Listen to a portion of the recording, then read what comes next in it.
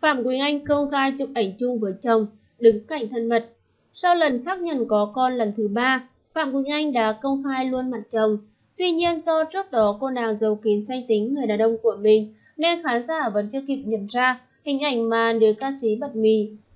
Chồng giọng ca bùi bay vào mắt đã hộ tống cô đi hát và chụp ảnh cùng ekip.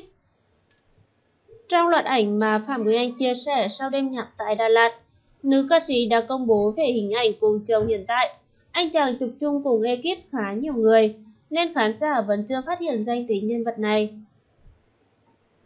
Cụ thể trong bức ảnh mới đây, dòng ca siêu lòng đã chia sẻ ảnh cùng ekip. Ông xã của cô cũng xuất hiện, cả hai đứng cạnh nhau chụp ảnh cùng mọi người. Tuy nhiên do chính chủ không xác nhận, đã làm mọi người bán tin bán nghi. Theo hình ảnh chồng Phạm Quỳnh Anh, mặc áo thun màu nâu, cam. Anh là người luôn theo sát nữ ca sĩ khi xuất hiện và quan sát vợ lúc lên sân khấu. Trong dàn ekip dễ dàng nhận ra khoảnh khắc tình tứ của Phạm Quỳnh Anh và ông xã.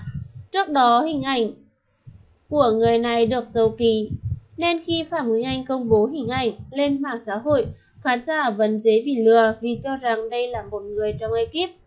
Dòng ca tất cả sẽ thay em Từng chia sẻ, Quang Hy cũng viết về người mới của cô.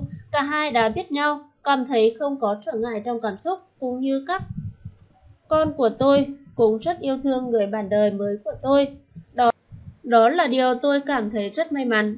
Tôi không đi tìm người hoàn hảo, vì trên đời này không có người đó. Tôi tìm người phù hợp với mình, ít nhất là họ đồng cảm, chia sẻ và yêu thương những gì mình đã có. Điều đó đã đủ lắm rồi. Trong lần xuất hiện lần này, cô nàng cũng xin khán giả được tạm nghỉ để sinh con và hứa sẽ trở lại trong thời gian sớm nhất. Nữ ca sĩ chia sẻ, khi mang thai Quỳnh Anh có rất nhiều suy nghĩ trong đầu khi mình nghỉ một thời gian dài, phải làm như thế nào để khán giả không thể quên mình. Vẫn ở theo dõi và vẫn ủng hộ mình. Quỳnh Anh nghĩ rằng cái gì xuất phát từ tình yêu thương cũng sẽ dài lâu, khán giả cũng phải chưa từng chờ đợi Quỳnh Anh.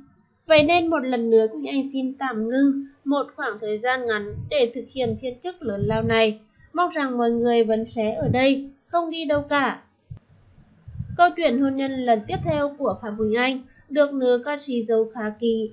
Cô nàng không công khai hình ảnh người đàn ông hiện tại trước truyền thông. Thậm chí là chuyện có thai để tránh những ồn ào xảy ra. Dù vậy, người đẹp 8X đã chia sẻ điều này trên mạng xã hội nhưng ít người biết về sự hiện diện của nữ kia. Nữ ca sĩ tránh việc bị soi mói, cô muốn cô muốn có một cuộc sống bình yên bên cuộc hôn nhân thứ hai và sinh con trong hạnh phúc.